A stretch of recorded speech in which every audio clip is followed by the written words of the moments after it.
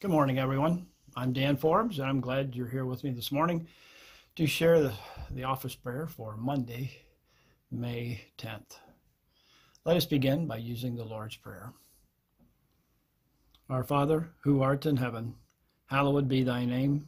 Thy kingdom come, thy will be done, on earth as it is in heaven. Give us this day our daily bread, and forgive us our trespasses as we forgive those who trespass against us. Lead us not into temptation, but deliver us from evil.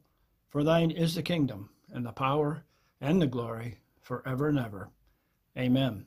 now let's state the faith that we believe by saying the Apostles' Creed. I believe in God the Father Almighty, creator of heaven and earth. I believe in Jesus Christ, his only Son, our Lord. He was conceived by the power of the Holy Spirit and born of the Virgin Mary. He suffered under Pontius Pilate, was crucified, died, and was buried. He descended into hell. On the third day he rose again. He ascended into heaven and is seated at the right hand of the Father.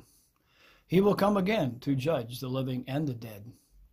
I believe in the Holy Spirit, the holy Catholic Church, the communion of saints, the forgiveness of sin, the resurrection of the body, and the life everlasting.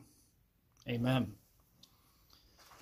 Uh, I've either been uh, around the farm, mostly raised on a farm, and currently own a farm. And I have to say that sheep would not be my first choice of animals to raise. I've raised pigs and helped raise chickens and, and cattle and little calves. But when you feed sheep, they all seem to rush at you at the same time, trying to knock you down. And they, they eat like they're just starved to death, and they'll eat so much that they'll get sick and make them, and they can possibly die. And you could give them a shot to keep that from happening. Um, other things too, uh, when they're afraid, they run everywhere trying to get away, and they don't go anywhere. Uh, when they're cornered, they keep going in the direction that they're cornered, and uh, they just uh, just they're they're they need guidance, and I guess uh, we're like sheep. Uh, sometimes we eat too much, and a lot of times we probably eat quickly and get ourselves sick. Um, we also run around from all kinds of stuff that we do from here and there and end up going nowhere. As a farmer takes care of his sheep, we have a shepherd takes care of his sheep. And that's Jesus. And he is our Savior, our, our shepherd, and he's our good shepherd. Um, I would like to read uh, from uh, the Gospel of John. And uh, this is uh, going to be in chapter 10. We're going to read verses 1 through 17. It's kind of funny. A few weeks ago, we had uh, Good Shepherd Sunday, and uh, it's kind of appropriate that we would read that for this lesson. Truly, truly, I say to you, he who does not enter the sheepfold by the door, but climbs in by another way, that man is a thief and a robber. But he who enters by the door is the shepherd of the sheep. To him the gatekeeper opens.